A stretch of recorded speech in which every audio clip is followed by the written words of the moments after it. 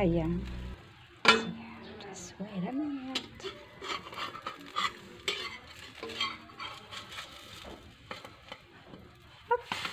Wow, perfect. Perfect. Okay. So now, let's.